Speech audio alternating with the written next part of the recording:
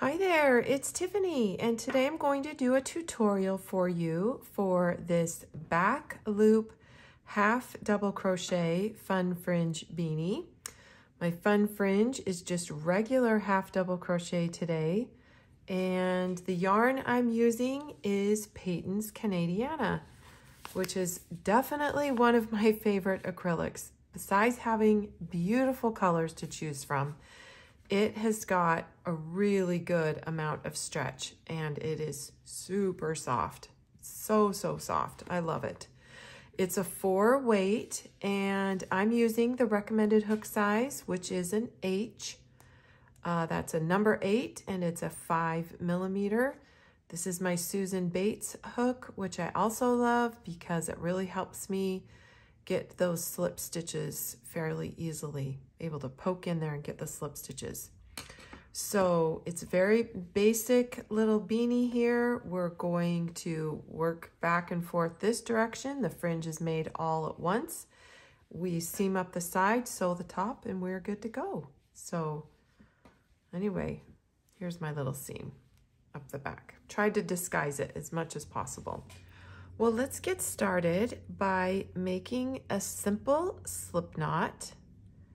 And we will chain 36 chains.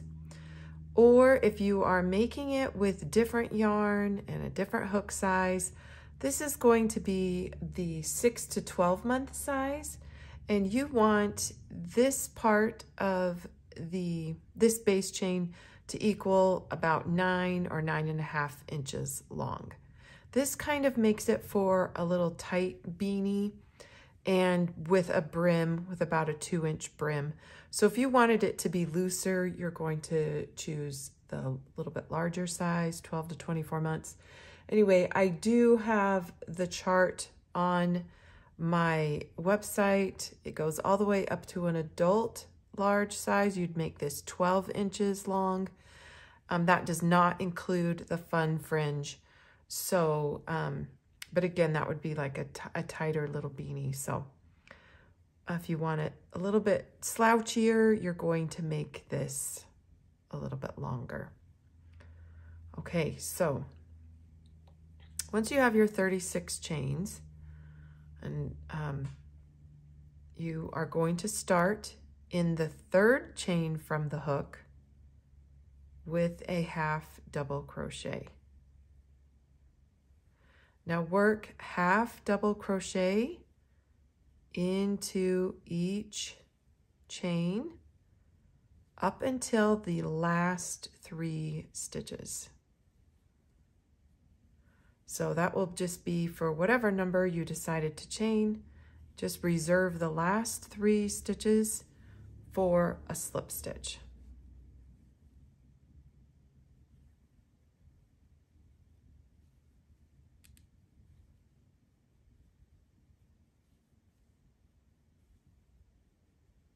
In my last three stitches here, I'm just going to work slip stitch.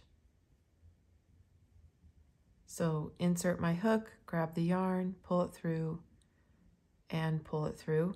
And if these are proving too difficult for you, you can omit these. The only thing that will happen is that you'll just have a little bit extra bulk at the top of your hat. Okay, uh, let's just chain one and turn. And you'll work into the back loop right there into the first stitch of that row. Work the first three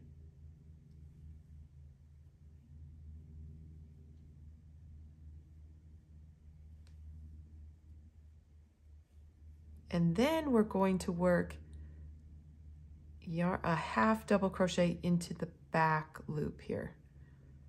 So this is just another option here for you for this hat.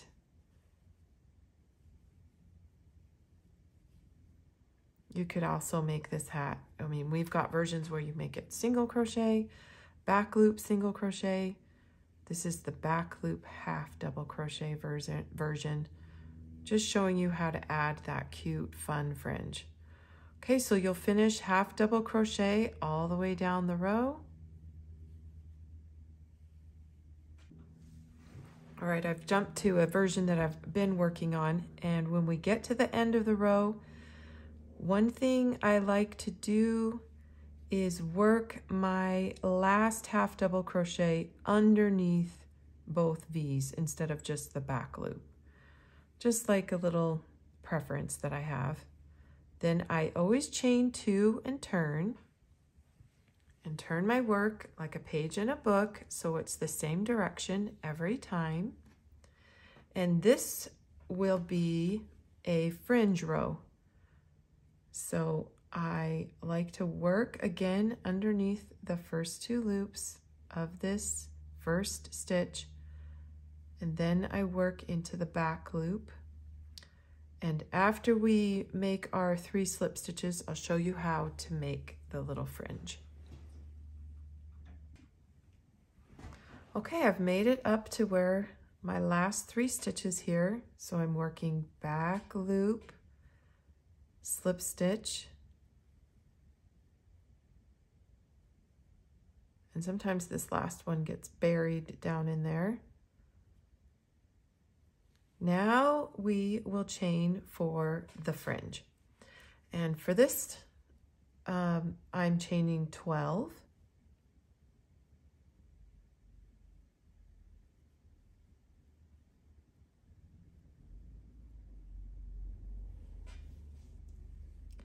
And I'm going to work 10 half double crochets back to the base here. So I am starting in the third chain from the hook and I am just working regular half double crochet. Now in other versions, we've done a yarn over slip stitch where I would just be yarning over and pulling through the two loops but I'm choosing to do a regular half double crochet where I'm yarning over and pulling through three.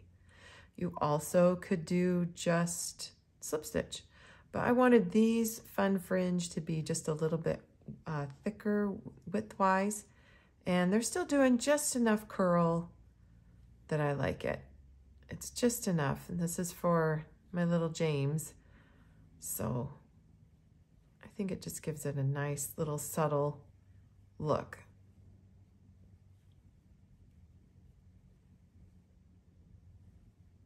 Okay, I'm back to the base. I see my slip stitches here. So I'm going to work these three and work my half double crochet back to the edge. And I'm about done with this hat. Now we will be working the fringe every other row. So that was my fringe row. I've come back, I chain one and turn. And on this row, just start working the slip stitches. So it's every other time we come back with the fringe. All right, I'm going to work this a few more rows until we get the size that I need.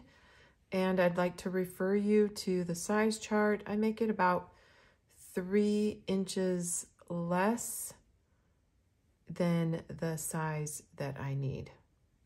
So for um, baby James, his width, head width is 16 I'm going to be making this 13 inches.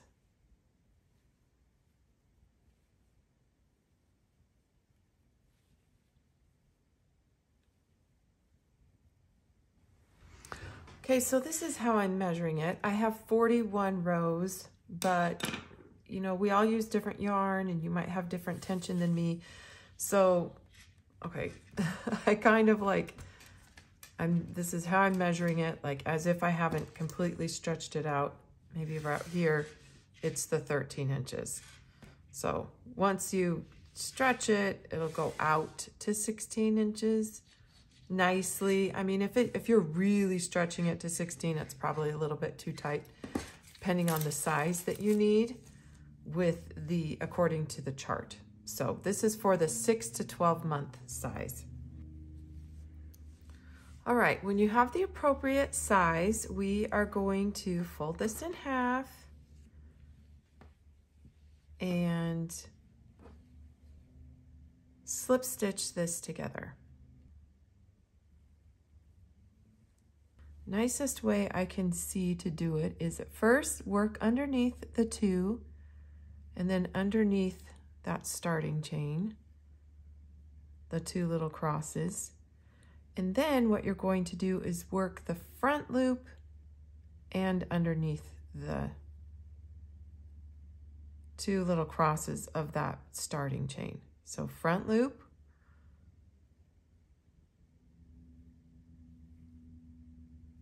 and the starting chain.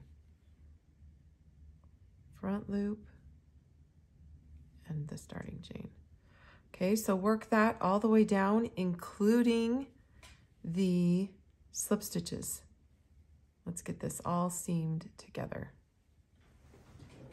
All right, once you have it seamed up, you're gonna go ahead and cut yourself a long tail pull that out. And um, this is, you're going to decide what you want to have it look like. I, I prefer to have this be the seam down the back. So I'm going to turn this hat inside out.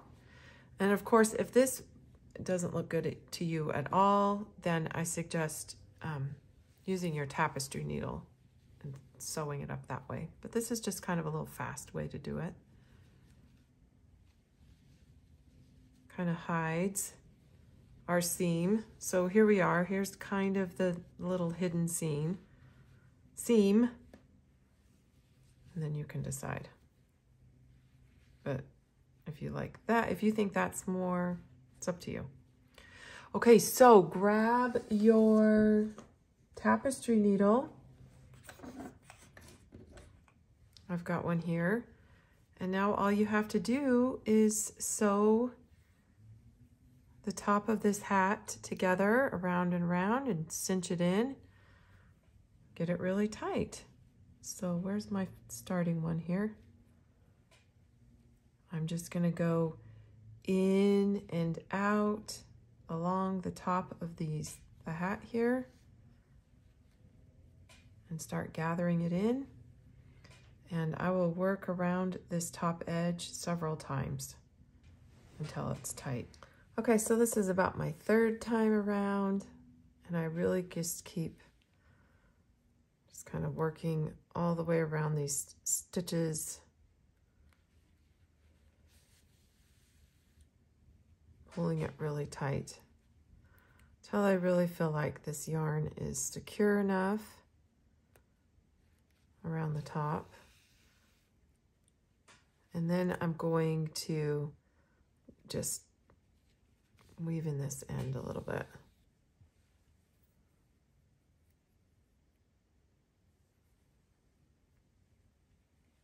Kind of go back around the other way. Really get it in here. Do some across.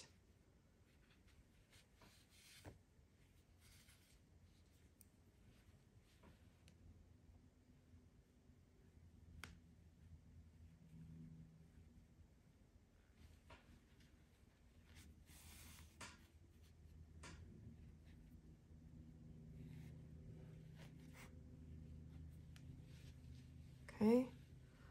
And I feel like that's probably good enough. So I'll kind of like really slip stitch in tight here, not slip stitch, just weave it in back and forth so it won't come undone. That's it.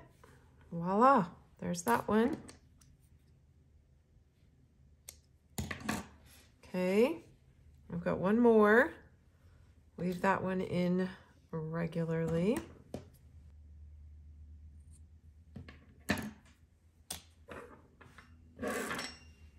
There you go.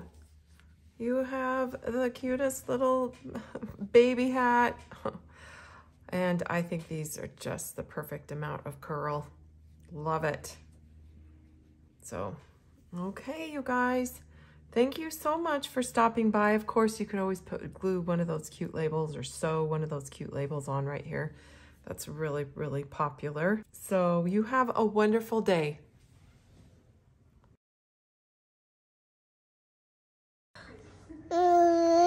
Who am I with today? Who is my Valentine, huh? Who is my Valentine? Is baby James?